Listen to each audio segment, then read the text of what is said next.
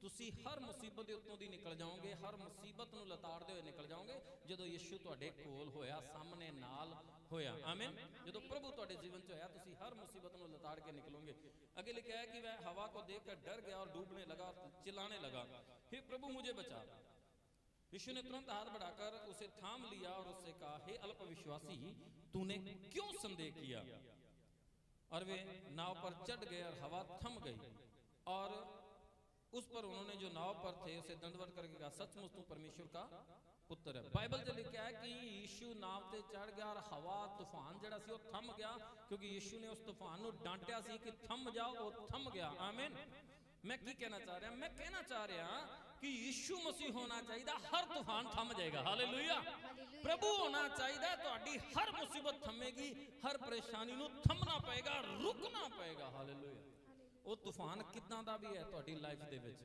ਉਸ ਨੂੰ ਰੁਕਣਾ ਪਏਗਾ ਕਿਉਂਕਿ ਉਸ ਜਗ੍ਹਾ ਤੇ ਯਿਸੂ ਮਸੀਹ ਹੈ। ਆਮੀਨ ਸਭ ਤੋਂ ਵੱਡੀ ਗੱਲ ਹੈ ਪਤਰਸ ਡੁੱਬਿਆ ਪ੍ਰਭੂ ਨੇ ਉਹਨੂੰ ਬਾਹਰ ਕੱਢਿਆ ਕਿਉਂਕਿ ਯਿਸੂ ਮਸੀਹ ਉਸ ਜਗ੍ਹਾ ਤੇ ਸੀਗਾ। ਜਿਵੇਂ ਨਾਵ ਤੇ ਚੜਿਆ ਨਾਵ ਨਾਰਮਲ ਹੋ ਗਈ ਤੂਫਾਨ ਥੰਮ ਗਿਆ ਹਾਲੇਲੂਇਆ ਅੱਜ ਯਿਸੂ ਸਾਡੀ ਜ਼ਿੰਦਗੀ 'ਚ ਹੋਣਾ ਬਹੁਤ ਜ਼ਰੂਰੀ ਹੈ ਮਾਇਨੇ ਰੱਖਦਾ ਹੈ ਹਾਲੇਲੂਇਆ ਪ੍ਰਭੂ ਹੋਣਾ ਸਾਡੀ ਲਾਈਫ 'ਚ ਜ਼ਰੂਰੀ ਹੈ। ਹਰ ਤੂਫਾਨ ਥੰਮੇਗਾ ਜਿੱਥੇ ਡੁੱਬਿਓ ਉੱਥੋਂ ਬਾਹਰ ਨਿਕਲੋਗੇ। ਆਮੀਨ। ਆਮੀਨ। ਜਿੱਥੇ ਫਸੇ ਉੱਥੋਂ ਵੀ ਬਾਹਰ ਨਿਕਲੋ ਕਿਉਂਕਿ ਯਿਸੂ ਮਸੀਹ ਤੁਹਾਡਾ ਹੱਥ ਫੜਨ ਲਈ ਆ ਚੁੱਕਿਆ ਹੈ। ਹਾਲੇਲੂਇਆ।